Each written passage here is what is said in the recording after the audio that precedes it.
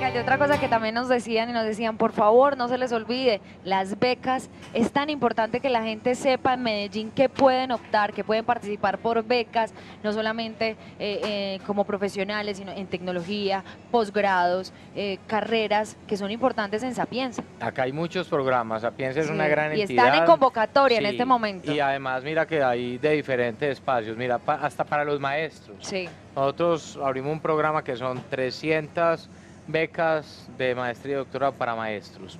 Hay otros programas que son de maestrías y doctorados para personas que hoy sean profesionales y que puedan acceder a ella. Lo otro son el tema de técnicas, tecnologías, carreras profesionales. Vamos avanzando y es absolutamente necesario. Esa apuesta de educación sigue, continúa. La ciudad ha tenido ahí un buen ritmo en eso. Con EPM venimos también hablando para recuperar mucho la fuerza del Fondo de Educación Superior, lo que se ha llamado como las becas de EPM. O sea que no, vienen muchas sorpresas y muchos temas buenos, Vane. Alcaldía de Medellín.